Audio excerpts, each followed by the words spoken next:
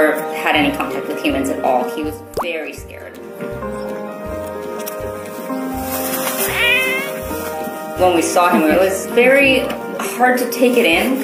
Oh, he's in a horrible condition. He had a really bad infection of his eyes.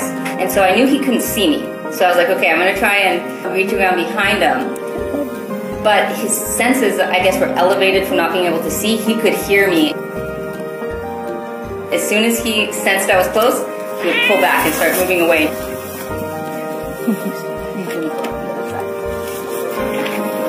It was like this little bush that he was in.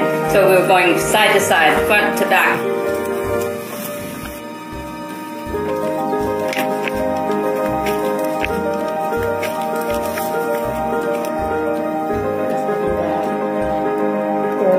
Side.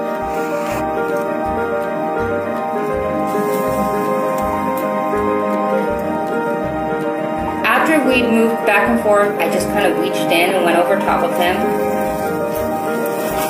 And I was able to get him. You could tell he was scared, but he was just letting it happen because he didn't know what else to do. Poor dude. All right. He was feral, and one of the main things is just keeping them in an area where they can't hide.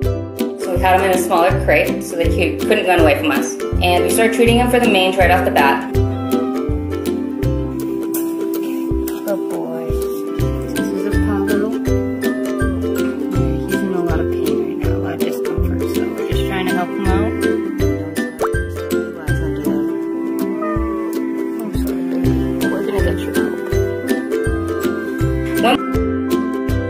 Just kind of cower over.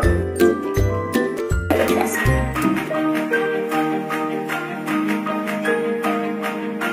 Oh, that's good. Yeah, buddy. Litter box. Oh, he's going pee pee.